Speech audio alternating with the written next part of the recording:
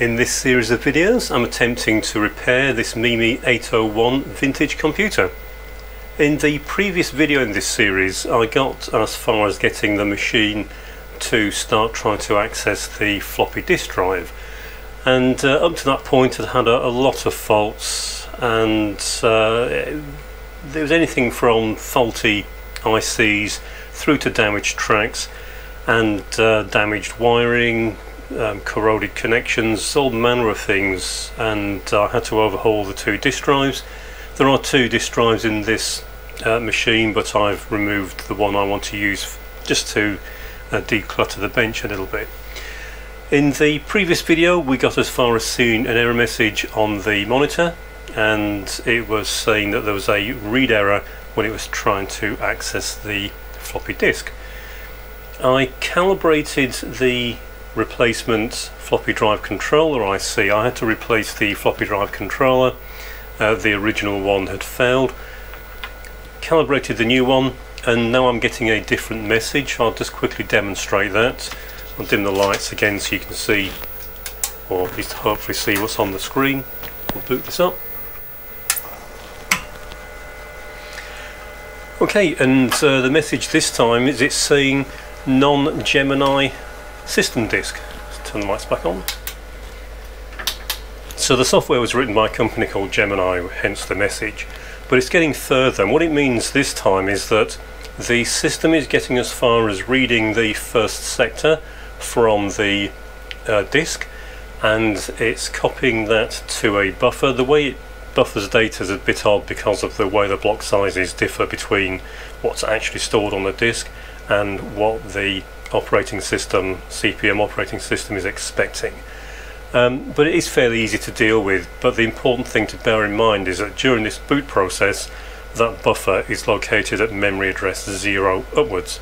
So what we should be able to see is if we try to boot the machine, it should start by trying to read the first sector from the first side of the floppy disk. It should copy that data to the RAM buffer in the computer and we should be able to use the monitor program to examine that. Now unfortunately you're not going to be able to see it too clearly. I will do this but um, I don't really have the space to get um, a monitor into camera view so I'll have to carry on using the small monitor. Uh, so we'll just um, reboot the machine let it go through the first part of the boot process and then we'll examine the uh, memory to see what has been read from disk.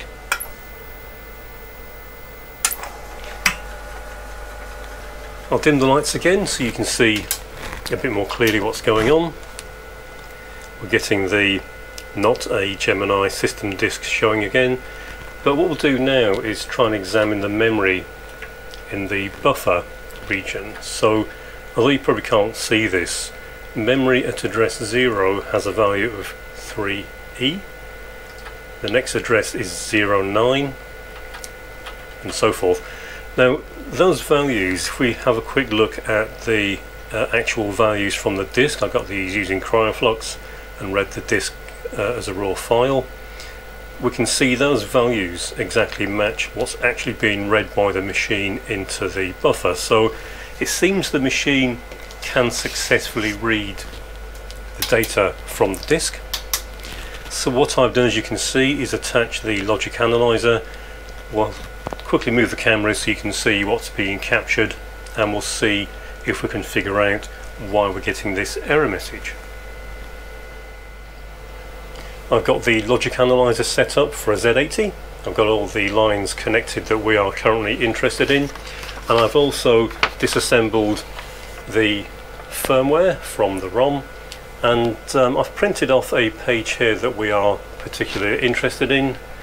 And um, the reason I've got this particular page is this is the part of the code that checks the first two bytes of the floppy disk image. So it looks at the first two bytes that come off the floppy disk and that's how the system determines if it's a proper boot disk.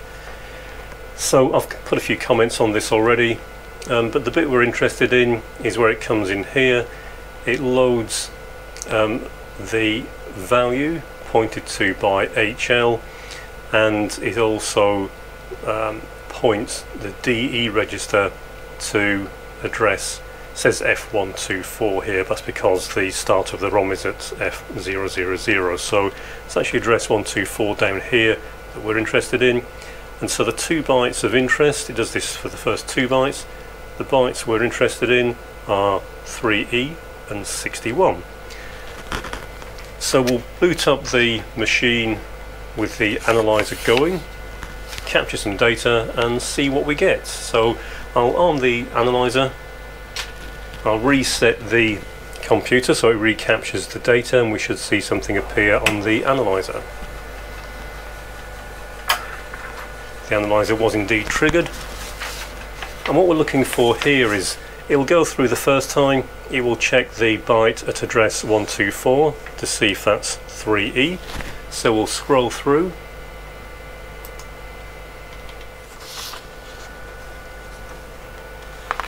So I've scrolled across to this part of the code. So we got to address um, F115. As I said, the code is offset to uh, F000, so where it says 0 here, we can read that as an F on the analyzer. So this is the part we're interested in. It's loading the value pointed to by register DE, um, which in this case is set to uh, address 124, which is down here and you can see that the value there um, is 3e and it's then comparing that against the value pointed to by the HL register which in this case is initialized to the first byte of the buffer that's used to store the data from the disk. So what we're seeing on the analyzer is the value coming from the uh, RAM and if you recall the two first bytes in RAM were 3E and 09 so that's what it's reading from the actual disk. So here you can see it's reading a value of 3E. Now that does actually match what we're expecting to see in the ROM. So that's this byte here. So that's 3E. The next byte, if we run around this loop another time, uh, it thinks, uh, the ROM thinks it should be a value of 6.1. So we'll scroll forward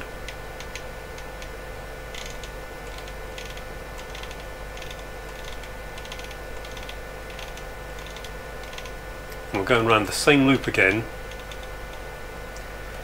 except this time we're seeing a value that it's reading from RAM of 09 and it's comparing that against the value here of 61 and obviously they don't match. We know the 09 is what it's read from the disk because we can see that in RAM. Uh, that's what we looked at in the uh, RAM buffer on the CRT display. And again, if we look at the ROM, uh, the uh, disk listing, we can see that the value there is incorrect as far as the ROM is concerned. However, if we look at the value for a MIMI 802 ROM, then you can see that the values expected are indeed 3E and 09. So that does confirm that the disk we're trying to boot from is for a MIMI 802 and does not match this particular machine which we believe is an 801 so in other words these two bytes that are in this ROM that it's comparing don't match what the boot disk is expecting to see. And hence we're getting this error message saying it's the wrong boot disk. So this is one of the issues you get with old machines like this is that over the years people tend to forget which disk they have and what they're for. And uh, although these discs were sent with this machine I don't believe they are boot discs for a MIMI 801 I think they are for an 802 so I'll just move the camera back down so just to clarify where we've got to so far it does seem that the machine can now successfully read the contents of the floppy disk however when they come into the machine and the buffer is checked to make sure the data from the disk is correct it's flagging it up as being incorrect. So there's only a few possibilities here. Either the floppy disk is corrupt, but he did send two floppy disks and both uh, give the same first two bytes, so I doubt they've both been corrupt in the same way. It is of course possible one of them is a copy of the other one, but there are other differences as well, so I don't think that's the case. Um, it's possible that the ROM in this machine has been changed at some point and is now the incorrect ROM.